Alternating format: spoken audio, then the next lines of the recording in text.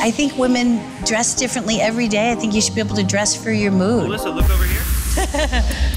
I am incredibly involved in every single piece of clothing. I probably drive everybody crazy.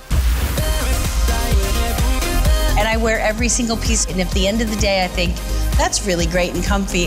Then it moves on.